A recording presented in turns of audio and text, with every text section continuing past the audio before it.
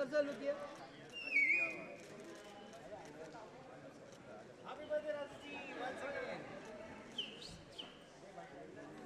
अरे हाँ sir sir look look.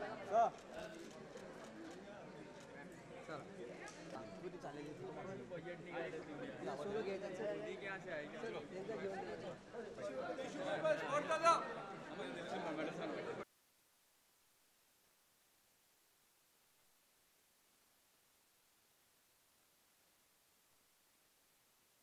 खास बात तो है, रमेश राजा ने मेरे बहुत ही करीबी है। मैं बताता हूँ उसका कारण है। आज से कुछ साल पहले इन्होंने हिमेश को कॉपी किया था और बहुत ही बातचीत हुई थी। तब ये मेरे स्टूडियो आए थे हॉल पे।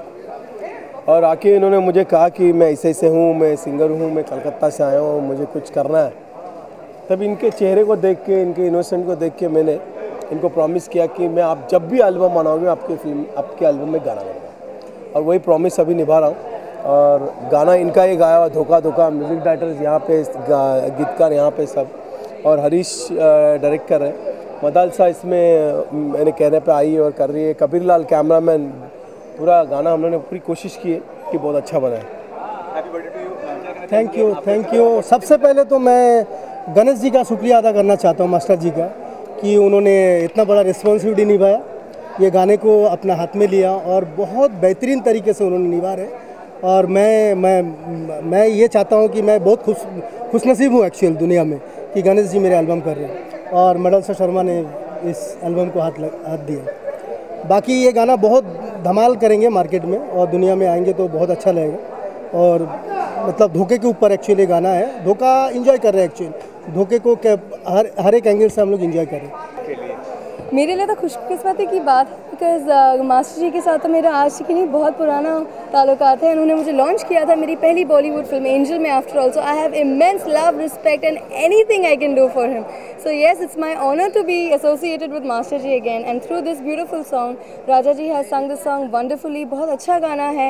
इट्स ऑफ़ फन तो जब आप देखेंगे हमको me, Ganesh ji and Raja ji shaking a leg of song I am sure you are gonna have a really good we are enjoying Dhokha all together everybody is enjoying Dhokha इसमें सब लोग हम धोखा Dhokha Dhokha everywhere Dhokha is there but we all are enjoying Dhokha and master ji मस्त master जी धोखा धोखा एक बार तो हो जाए मास्टर जी हाँ, एक बार एक बार एक बार धोखा एक बार धोखा। म्यूज़िक म्यूज़िक नहीं नहीं नहीं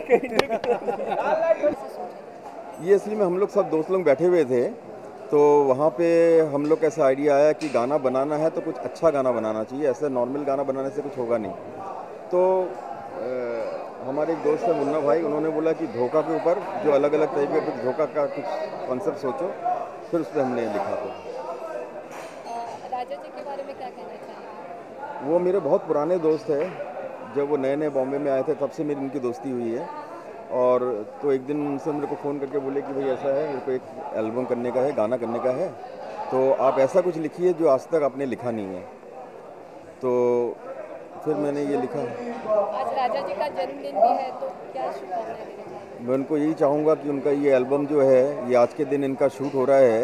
ये इतने तरक्की करे ये कि मतलब ये गाना मतलब लोगों के दिलो दिमाग में छा जाए। अ, मैं एक ही चीज़ कहूँगा फैंटास्टिक माइंड ब्लोइंग मेरे लाइफ का सबसे बेस्ट गाना लगा है मुझे अभी तक का। राजा जी सिंगर हैं इसके और मास्टर जी ने जो कोरियोग्राफ किया है गणेश आचार्य जी ने उनके लिए थैंक यू बोला बोलना चाहूँगा।